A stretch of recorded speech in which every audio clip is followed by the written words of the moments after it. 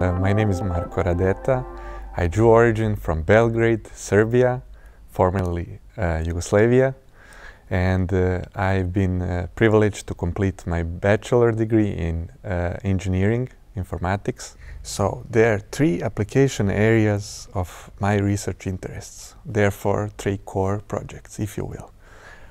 On land, on the oceans, and connecting them both through the air, if you will.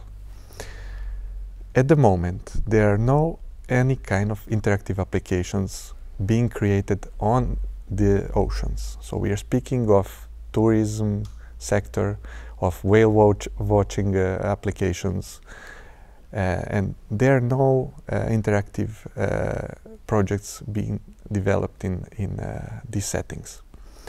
So one project in particular called Poseidon is a passive acoustic monitoring system where you can gather the underwater acoustics and vocal calls of cetaceans and then distribute them to the boats, uh, to the mobile phones of the tourists. What we research there is how much the tourists will be aware of the ocean concerns and whether this system can be feasible enough. Uh, it's basically whale watching becoming whale listening, if you will. The second project is on the land called Large Scale. It's FCT funded project where we are again focusing on analyzing tourism migration flows uh, on the on Madeira Island. What we are interested uh, to, to find out is if we can use specific predetermined points of interest at the location, at specific uh, Madeiran locations, and can we use those locations to motivate tourists to go there by foot. So Ideally, this will be using augmented reality technologies where tourists will have an adaptive user interfaces on their mobile phones at these locations.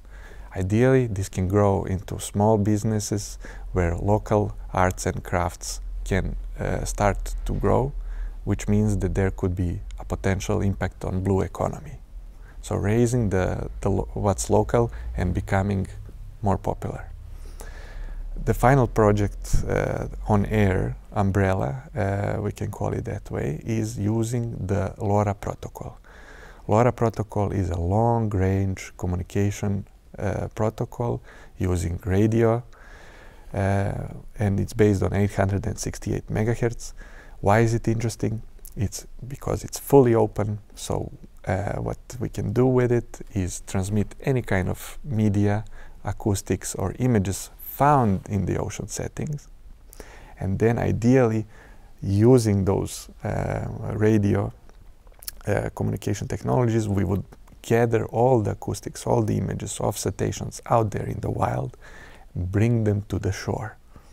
Why? Because not everyone today can afford to uh, go for the whale watching trip.